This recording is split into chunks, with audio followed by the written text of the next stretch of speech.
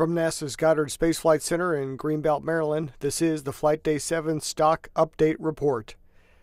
Activities associated with Sunday's spacewalk and the repair of the Space Telescope Imaging Spectrograph wound up testing both minds and muscles.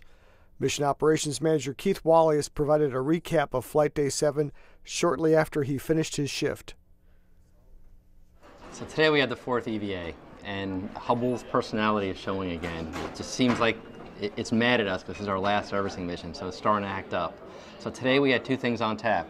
We were going to repair this, this instrument, the Space Telescope Imaging Spectrograph, and then we're going to put on this outer blanket layer to repair some of the outside damage. Well, it didn't go exactly as planned. The, this repair started off great, the crew got going on it right on time, and they started taking out all the different screws, including 120 captive screws they were going to have to take out. But while doing it, one handle that was in place, and it was in the way of the board that we were going to have to take off to get into the instrument, wouldn't come loose. Tried taking that screw off, the crew tried different methods, they changed the bits out, and it just wouldn't work. We spent a long time wrestling with this. And when I say wrestling, literally wrestling with it, because finally the solution to get this off was that that one screw they couldn't get out, so the crew was going to pry this bar off. And we tested it here at Goddard actually. We had a spare, and we had a spare bar. And we had some people here at Goddard, and they put this bar, and they wrestled with it, and they pulled it off, and they saw how much force it could take. And then they had the crew do that also, and they told them you could do it. Crew did it fantastically. Mike Massimino got it, and he wrestled it off and the rest of the repair went on. We lost a lot of time. We lost about an hour and a half doing that, but it all got done, it all got accomplished, and I'm really happy to say that we now have the STIS instrument working again. We did our aliveness test, and it's working perfectly. So here, just like last night with ACS, another instrument that was not working has now been repaired again it was a tough day because when you're seeing this, you're hoping everything gets done, everything gets accomplished. And one of the results of that not happening was the fact that now this outer blanket layer won't get done till tomorrow. But in the big scheme of things, we have this incredible multi-hundred million dollar instrument working again. So 99% success, a little bit we'll have to defer till tomorrow. But overall, fantastic day. So tomorrow is our final spacewalk day, and it's the final chance we're going to get to work on Hubble. And we have two things, actually three or four things planned. The first big task that we have for the day is our batteries. We have six batteries on board Hubble. We earlier in the mission we changed out three of them, and they're working fantastically. Well, we have three more of those old 1990 batteries on board, so we need to change those out. And we expect it to go just as smoothly as it did the first day. After we get the batteries changed out, we'll have a whole complement, new complement of batteries will be set for many years to go. The other task is the fine guidance sensor. Now these fine guidance sensors, they give us that very accurate pointing accuracy. In fact, it's so accurate, if you could take a picture of a dime on top of the Empire State Building from Washington, D.C., it's incredible the accuracy. And this is one of those instruments that gives us that capability. It weighs about 900 pounds. It's not small, it's pretty big, the size of a grand piano. So that's going to happen tomorrow. And then after that, these outer blanket layers. The outer layers that we have on the telescope of Kapton and Teflon, they've been peeling away over the years. In fact, you can see them just popping up. We changed out four of them in the past on our critical electronic bays. We want to get two more of them tomorrow, and then we'll be set for the long term. So it's still a full day. We have a lot to do, but we think we can still get it done.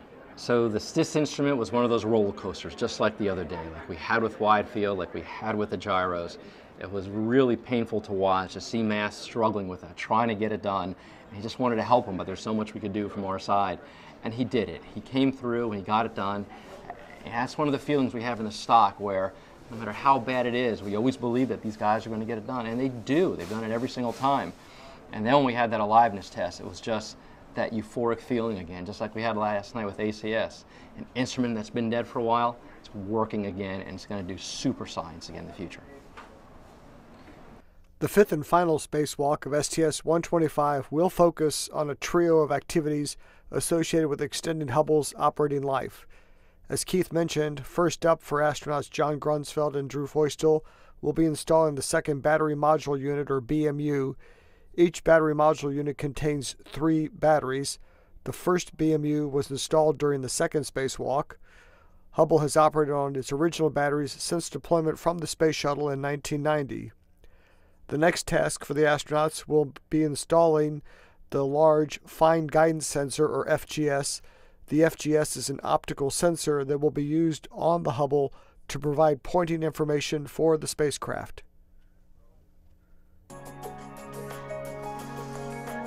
We're going to put in a new fine guidance sensor uh, to take the place of one that has shown evidence of, of uh, failing and not, not being long for this world.